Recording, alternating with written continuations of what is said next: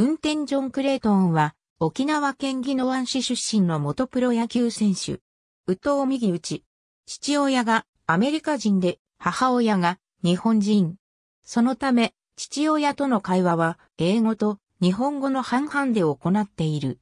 父親の影響で、小学2年からガネコファイターズで投手として野球を始め、中学時代は公式、ギノワンポニーズに所属していた。その容姿や長い手足を持つ体型、投球フォームから沖縄のダルビッシュ有の異名を取る。2007年に浦添工業高校に入学。当時は下半身が弱く、体が出来上がっていない状態でありながら、時速 145km の球を投じ、1年の夏には沖縄小学高校を相手に時速 140km 台の直球で打者5人から4三振を奪うも敗退。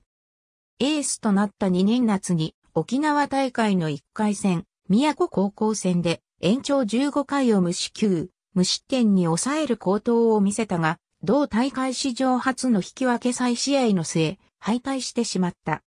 3年夏の同大会では1回戦の八重山農林高校戦で最速時速 147km を記録6回まで無安打7イニングを2安打無失点。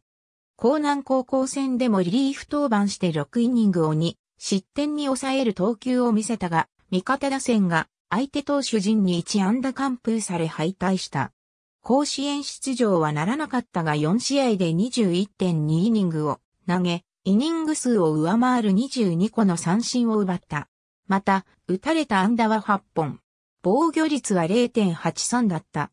2009年のプロ野球ドラフト会議で、北海道日本ハムファイターズが4位で、運転を指名し、交渉権を獲得した。プロ2年目の2011年5月14日のオリックスバファローズ戦で9回表にプロ初登板を果たす。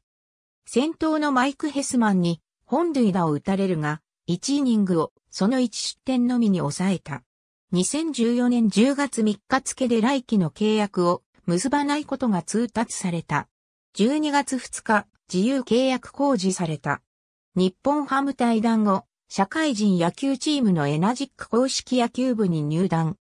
柔らかなフォームから繰り出す最高速時速 150km の速球と縦横2種類のスライダーやカーブが武器の速球派。